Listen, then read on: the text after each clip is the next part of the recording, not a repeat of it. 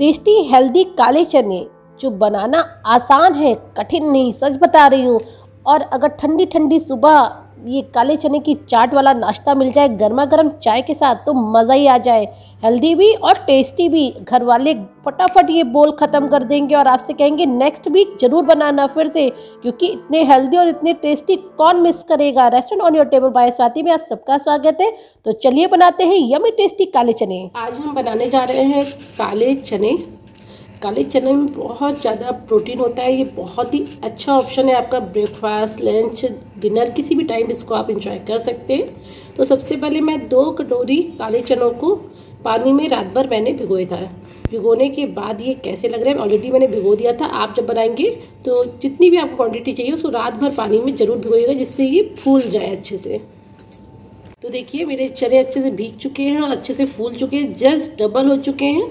आपको अंतर समझ में आ गया होगा। आप लोग भी ऐसे भिगोते ही होंगे। तो चलिए इसको बनाते हैं। बहुत ही इजी वे में बताऊँगी और बहुत ही जल्दी बन के ये तैयार हो जाएँगे।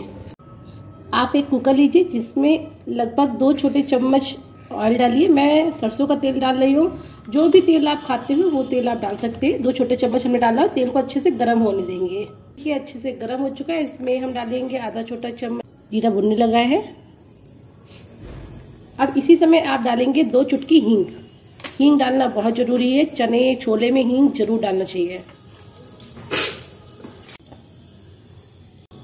चार हरी मिर्च कटी हुई। हरी मिर्च कम ज़्यादा आप कर सकते हो उन्हें अच्छे से भून लेंगे। हींग, जीरा, मिर्च बिल्कुल तैयार है। अब डालते हैं लगभग एक छोटा चम्मच हल्दी।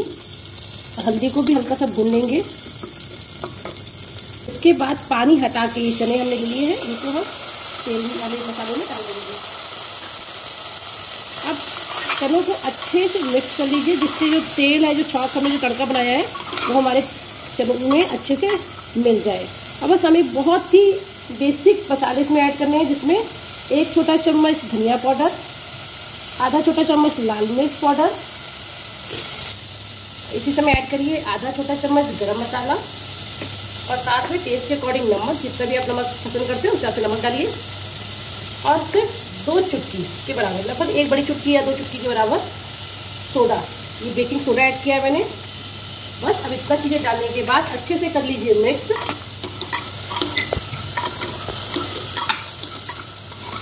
हमारे चने मसालों के साथ अच्छे से मिल चुके हैं। अब हमें इसमें पानी ऐड करना है।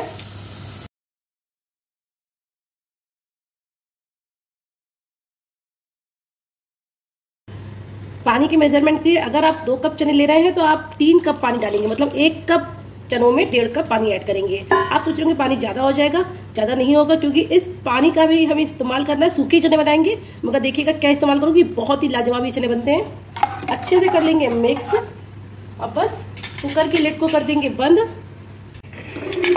लिट को बंद करने के बाद हाई फ्लेम पे दो सीटी हमें लेनी है। जब दो सीटी आ जाएगी, तब फ्लेम को लो कर दीजिए और घड़ी देख के पाँच मिनट से छः मिनट पकने दीजिए लो फ्लेम पे इन चनों को।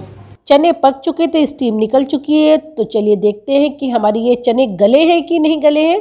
तो देखिए कितने आसानी से ये हमारे चने पक चुके हैं। ये पानी जो है इसलिए घबराइए नहीं, यही तो स्वाद है इसका, कैसे क्या बताती हूँ। हाई फ्लेम पे पानी को हमें सुखाना है लगातार चलाते रहिएगा बीच बीच में। ऐसा ना हो कि आप छोड़ दें और बाद में हमारे चने जल जाए, इसका सावधानी पूर्वक काम करना है। पानी पूरा रिड्यूस हो चुका है और देखा आपने, चनों का टेक्सचर बिल्कुल चेंज हो गया है। जैसा लग रहा है कि लुटपुटा मसाला हमारे चनों पे लगा हुआ है। यही तो इसका टेस्ट है। थोड़ा सा प्याज, धनिया, मिर्चा, अदरक काट के रख लिए क्योंकि बनाएँगे चना चाट। एक बोल में चने को निकालते हैं, जिसमें आपको सर्व करना हो। गर्मा गर्म ही ये सर्व करिएगा, तभी मज़ा आएगा। चने निकल चुके हैं। अब इसमें हम महीन कटा हुआ प्याज और महीन कटी हुई अदरक, महीन कटी हुई हरी मिर्च और महीन कटी हुई धनिया। ये चारों चीज़ें हम ऐड करेंगे और साथ में कुछ सूखे मसाले जिसमें कुटी हुई काली मिर्च और थोड़ा सा चाट मसाला ऊपर से स्प्रिंकल करेंगे, जिससे हमारे चनों में जो ऊपर से हमने सैलड टाइप का डाला है, उसमें भी फ्लेवर आ जाए। और टेस्ट के अकॉर्डिंग लेमन जूस ऐड करिए, जितना खट्टा आप पसंद करते हो और आपकी ये चना चाट बिल्कुल तैयार है। गर्मा गर्म चाय के साथ इस ठंडी में इसको एंजॉय करिए। हेल्दी टेस्टी चने कैसे लगे आप भी बताइएगा। कमेंट बॉक्स में ज़रूर लिखिएगा। Thank you for watching bye bye